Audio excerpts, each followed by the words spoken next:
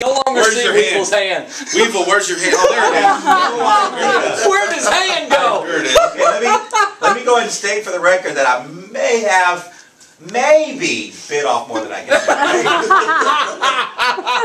maybe I'm going to use two hands. All right, both of you guys, you feel like you're ready? You're good? All right, Dino, you got them locked Here, up here we go. We're gonna go on Remember, a remember before we do this, I love you. You're my boy, and I need this arm. Boy, how the trash talking has ended quickly. Okay, I'm gonna do my best version of Mills Lane. We're gonna keep it clean here. All right, let's let's come out fighting on the count of three. All right, here we go. One, two, three. And Weevil uses two hands. Weevil has gone two hands on I this. got him! I got and him! Michael has still got the advantage. Weevil with both hands, and Michael is, takes him down. Weevil with two hands, and Michael Jasper, Yeah. future NFL Hall of Famer, just takes down Weevil Kaluga, who is now on the floor and possibly severely injured. Where's the man? You get trainer. Weevil, what do you need, if anything? CPR.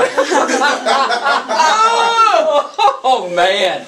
Now wait a minute, Michael. When he went two hands on you for about a half second, he had a little advantage. Yeah, he did. I, I felt I felt defeat and uh, had to try triumph. Well, of course. now, now I want to I want you to know that I did not use the technique. You didn't use the technique just I did not. Why did you not use the technique? I didn't get a chance. That's awesome. All right, congratulations to Oh, Deanna boy. Sellers of Huntington, who is now going to Holiday World and Splashin' Safari. Yes, she is. And Michael, thank you so much for being Very here, much. man. Very cool. Good luck with the Buffalo Bills. Big things in your future, brother. I appreciate you guys. Do you know when does the season kick off for the Bethel Wildcats? Um, August 27th. August 27th. So, man, we're uh, a little over two months away. Yep. We're getting and, real uh, we start uh, August 5th, August 6th. All right. report. Good deal. Good deal. Thank you all for stopping by this morning. Thank you. Greatly appreciated. 827.